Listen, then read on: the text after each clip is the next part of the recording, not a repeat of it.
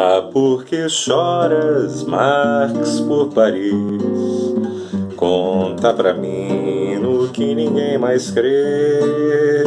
No antigo livro eu li seu parecer. Mesmo sem Blanqui, a revolução tentou ali vencer. Por que não voltas, Marx, pra Paris? Pra ter motivos pra se aborrecer.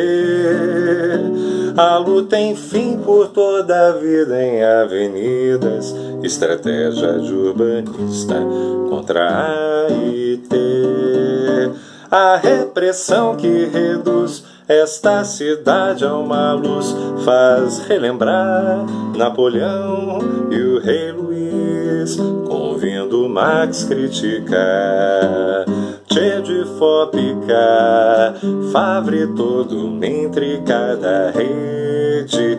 Existe um Marx que eu li prevendo a guerra civil. Eu acredito que a comuna vai voltar se um Marx houver por lá para analisar.